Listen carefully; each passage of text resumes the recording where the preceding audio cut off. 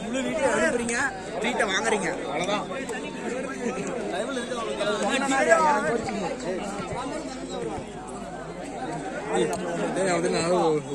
லைன்ல இருக்காரு லைன்ல